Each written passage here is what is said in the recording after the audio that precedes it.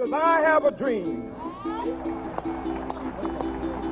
that my four little children will one day live in a nation where they will not be judged by the color of their skin, but by the content of their character. I have a dream today. Hi.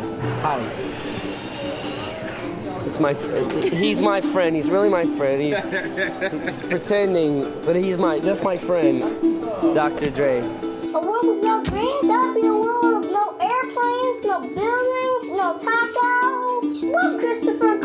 said, maybe I should stay home and watch Netflix.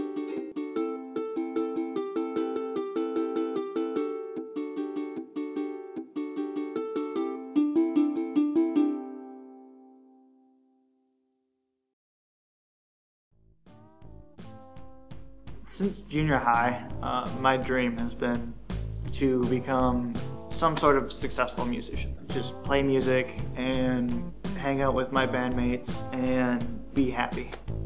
My dream someday is honestly to be happy, to be able to like live down with someone, settle down, have a few kids, and that that's like a dream of my own to have a nice family.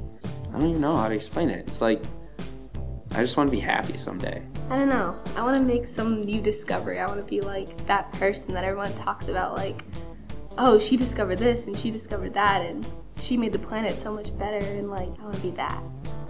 And I want to be happy. And I want my dream is to be happy. My dream just to be happy, really. My dreams. My dreams. What do I want to do? Well, I want to travel across the world to all the deprived places in the world, such as like Pakistan, I don't know, all those places. And then I want to take pictures of people. I want to take pictures of them without them knowing that I'm taking pictures of them. And then I want to ask to interview them and ask them about their perception of life and how they feel about life and why they feel that way about me, you, everybody. And then I want to write poetry with the pictures in their words so that you feel how they feel. So that you can be like them and you can see what they really are and that we're all really the same person on the inside. being somebody so I could make a difference in other people's lives, inspire people, or I don't know, just help the less fortunate. Some way, somehow, I can make a difference in somebody's life. That's what my dream is. My dream is to be a great director, um, preferably of horror movies, but kind of just in general. Um, the reason for that, I there's a lot of reasons. Mostly, it's just because it's the one thing in my life that I really, it just it gives me such a passion when I'm working on it. I mean, even when I was a little kid, I would be coming up with just little random story ideas, and I would make my family act it out. I mean, it's just, it's always just kind of been in my blood, and I'm not really sure why. But it's, for me, it would just be, it'd be the consummation of everything I've been working towards and I, I look at, I look at people like Quentin Tarantino and I look at their films and what they've done and I want to add to that. I, I think that I have ideas and visions that could really benefit the filmmaking community. So I really want to get my voice out there.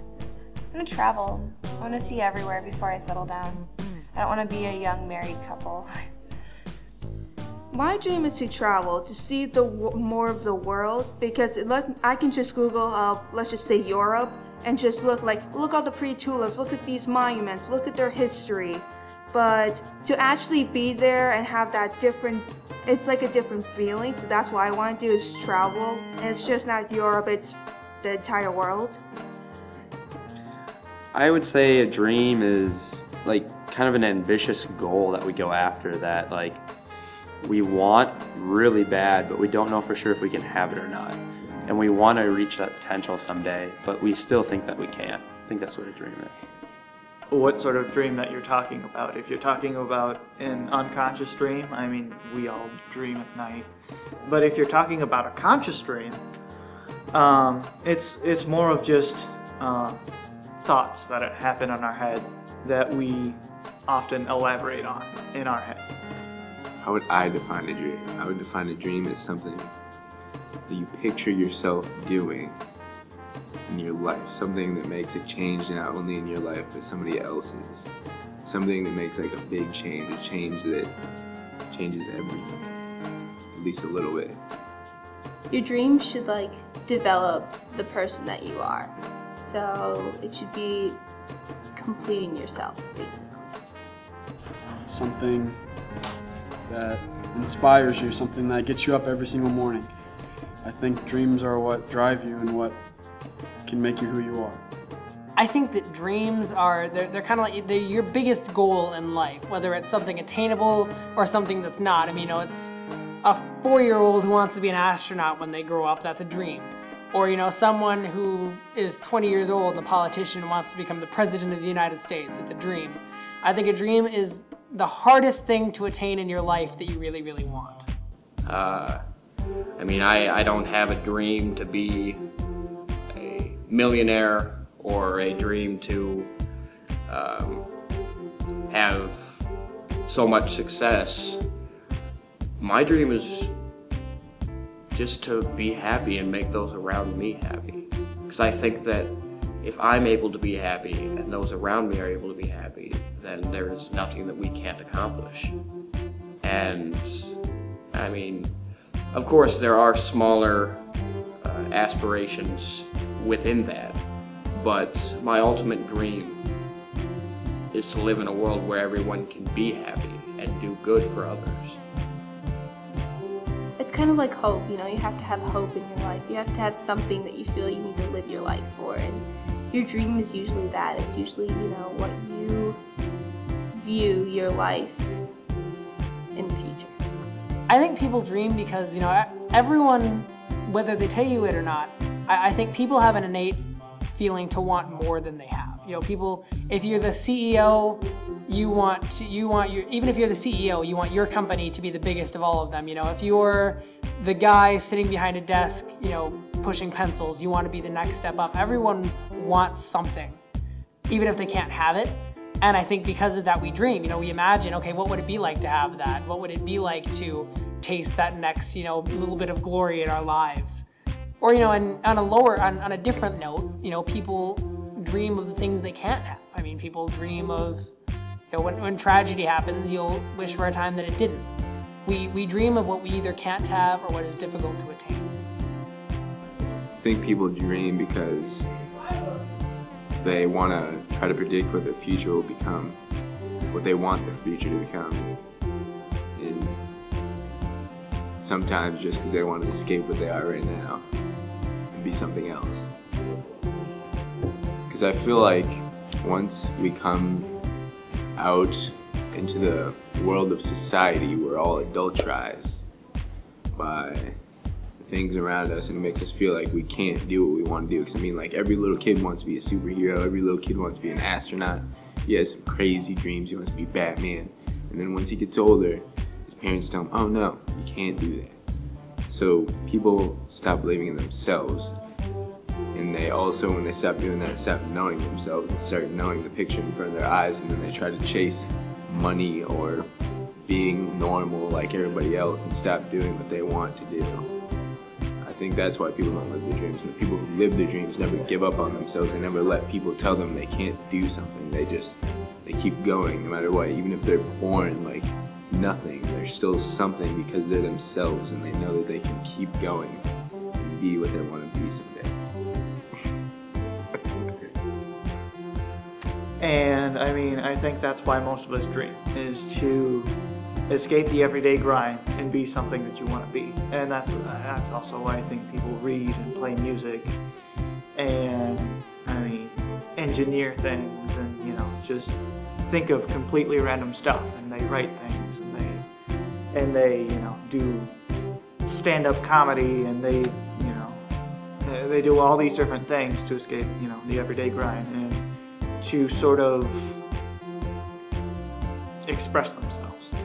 Let's just try to include other people and not just focus on just yourself.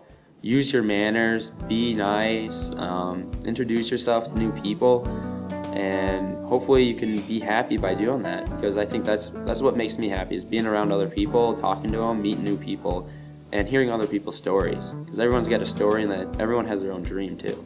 So you can always help them out maybe with theirs. I try to make other people's days better. I remember one time I did really bad on a homework assignment. And it was like making me so sad, and I was like so upset about it. And I like went out in the hallway and I complimented somebody on something. I think it was like her hair or something, and she just that made her so happy, and that just made me happy. You know. So I think that's how on a daily basis I fulfill my dream of being happy. It makes me feel safe. Is that weird to say? Like, you know, being happy makes me feel safe. It's nice. I mean, you know, pe- people ask, you know, how do you sit in front of a computer for four and a half hours and just, you know, mess with little medial details? Like, it sounds so boring, but to me, it's such a, it's an incredible source of joy. It's, I- when I'm editing, it's like nothing else matters. Or when I'm making a movie, it's like nothing else matters. Every little stress, everything with school or math class or anything, it all goes out the window for me. It's, it's just completely cleansing. The, the decisions you make now, you can ultimately decide how are these going to affect me in the future. And so I, I would much rather be in the present than anywhere else.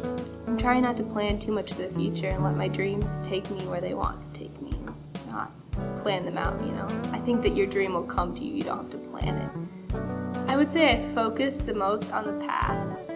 I would say I'm trying to focus more on the present because, you know, that's that's your life right now. And if you spend all your time thinking, well, I could have done that, or I should have done this, or ooh, I did that, you're not living your life that was given to you now, you know. I definitely don't focus on the future that much, but so I would I'm aiming to focus on the present.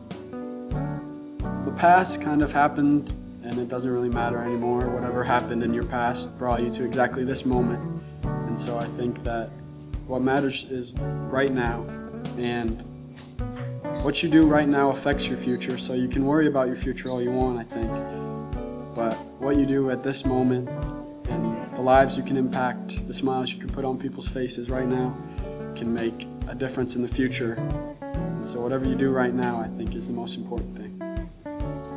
You are your only obstacle. You decide whether or not you're worthy to do something. You decide whether or not you can do something. Sure, there might be other roadblocks and there might be obstacles that you didn't place, but you have the ultimate decision whether or not you want to overcome those. If you really want something, if you truly want something, then you have to decide whether or not you want to actually go for it. I mean, you can fall down eight times, and people can tell you you're not good enough. People can tell you that you're not worth it. You should just give up.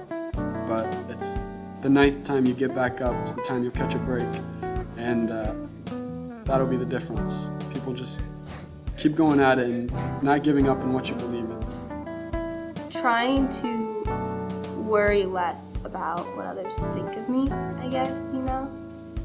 And I used to like think, oh, everyone lets me down, nobody's ever there for me, you know, why should I be nice to them, you know? And that just really brought, like, brings people down, you know? There's no way to be happy when you're like that, you know? And so I would say, like, last year sometime I took the step where, like, you know, I love everyone. It doesn't matter who they are, doesn't, you know, you just have to love them. Like, you don't have to be best friends with them, you don't have to talk to them, but you just have to love them and respect that they're a human being they're at a different place in your life. And that has made me so much happier. That is like, whew, like so much happier.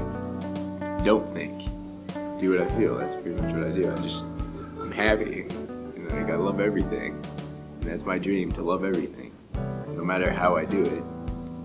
I mean, there's a million different ways to do it. There's a billion different ways to do it. There's a trillion different ways to do it. But really, in the end, it's still the same one thing that I'm dreaming, and it's love.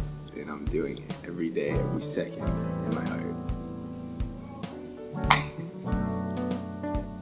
How do you think it feels? It feels absolutely amazing. It feels like you.